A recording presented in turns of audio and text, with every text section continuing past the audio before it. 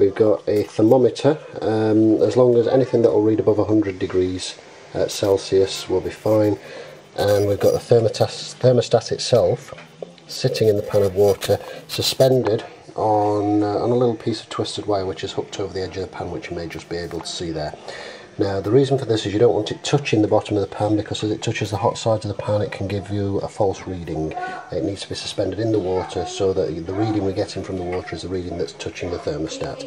This works for any thermostat. This one's off my BMW um, motorbike uh, but this works for any thermostat on any water-cooled vehicle. On the thermostat itself you'll have a stamp with a, um, a number and degrees Celsius, in this case 85 degrees Celsius, which means that the thermostat should start to open at 85 degrees Celsius and be fully open uh, just shortly above that. Okay,